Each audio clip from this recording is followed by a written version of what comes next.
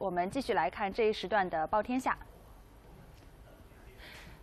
刚才呢，我们的新闻里报道了罗尔事件的后续，而罗尔事件带来的影响也注定不会轻易的就此曲终人散了。那今天呢，各家报纸也都有所关注。我们首先来看一下《京华时报》的特约评论员的文章：罗尔退款呵护朋友圈慈善仍然在路上。文章说啊，在过去了二十多个小时之内呢，剧情反转的真是大起大落哈，而真相呢一直在刷新。从互联网上对白血病女孩的无限关爱，到很多人对于罗尔食肉。紧皮呀，呃，从前天深夜微信承认打赏系统有 bug，宣布冻结相关的打赏，到昨天罗尔宣布要建立白血病基金，再到昨天傍晚微信快刀斩乱麻宣布把所有的打赏退回去，那事情是不是就此结束了呢？不管外面的世界是怎么样的纷纷扰扰，剧情是怎么样的大起大落，罗一笑还是那个静静躺在重症监护室病床上的小朋友。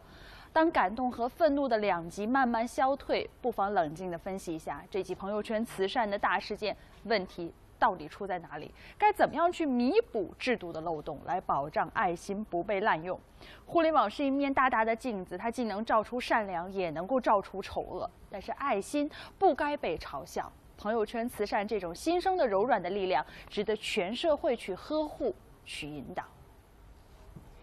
那罗尔事件呢，也引起了人们对于网络救助和网络慈善的思考。网络公开救助应该有准确信息来做支撑。今天南方都市报的文章就关注到了两点。首先值得关注的是新版的慈善法有意绕开了对于个人求助的监管。立法者认为啊，个人求助呃乃法律赋予的基本权利，如果个人求这个救助呢存在欺诈，则适用于刑法。而慈善法监管的是组织化的募捐主体，主要是针对那些有公募资格的基金会。因此，面对罗尔募捐事件，慈善法无法给出解释和规范之道，不得不说是一大遗憾。其次就是罗尔作为一件媒体人，那么在调动公众情绪和动员公众资源方面更为精通。但是在社交媒体时代哈，越来越多的人都可以轻松地获得网络公开求助，也就是网络动员的机会和渠道。由此，对于有能力进行公众动员的人来说，罗尔募捐事件可谓提供了一个真实又残酷的案例。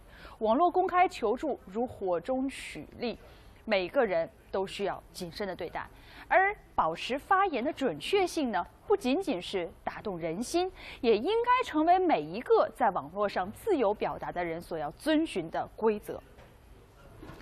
来看《新京报》的文章说，哈，罗尔事件本来是一位父亲为了身患白血病爱女寻求社会帮助。如今呢，却正在演变成一种嫁接着法律、道德，甚至是正义的相互伤害，让善举变成了一个昂贵的易碎品，甚至被疑似成了一场诈捐风波。罗尔卖文救女事件，最让人欣慰的是，它展示了一个有温度的社会；而最令人费解的是，这个温度在爱心善举之下掺杂着一点莫名的畸形扭曲。